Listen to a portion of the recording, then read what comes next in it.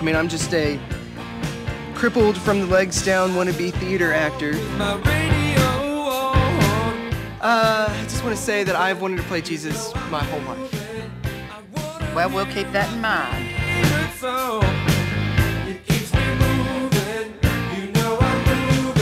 You're a 23 year old live at mobile home with your mom, lesbian.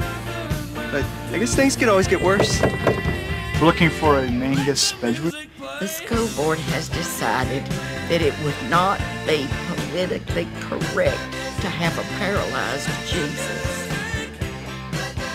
Hello, Mangus. Oh my god. No, it's Jesus. Buddy has gotten your brother drunk and he's just thrown up all over himself. And I have to say, it, it just isn't pretty.